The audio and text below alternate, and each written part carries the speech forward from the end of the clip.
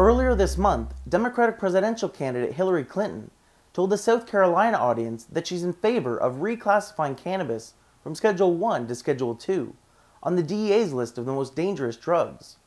But while this proposal is a step forward, it does nothing to protect states with legal recreational cannabis. Additionally, Clinton's main Democratic rival, Vermont Senator Bernie Sanders, has already pledged to remove cannabis from the Controlled Substances Act completely, going so far as to introduce a Senate bill to end the federal prohibition of weed. Currently, the US government classifies cannabis as a Schedule 1 substance alongside heroin, ecstasy, and LSD. Drugs in this category are considered to have a high potential for abuse and dependence and no medical value. Clinton pointed out that this designation makes studying cannabis difficult, which is why she wants to see a reclassification occur. According to the current Democratic frontrunner, Cannabis should be rescheduled so that researchers at universities and national institutes of health can start researching the best way to use it, how much people should consume, and how the plant interacts with other medications. In addition to more studies on cannabis, a downgrade to Schedule 2, where drugs like cocaine, meth, and oxycodone reside, would make the plant eligible for medical uses. Clinton explained that she wants to support research into medical marijuana